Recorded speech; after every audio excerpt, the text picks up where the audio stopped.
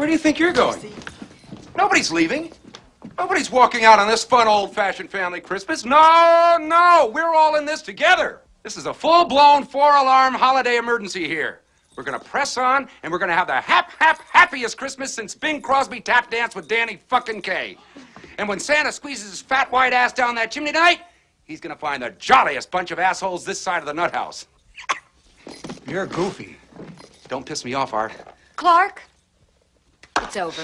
Not according to Santa's watch, it isn't. Now, come on, son. Stay out of this, Dad. Clark, I think it's best if everyone just goes home before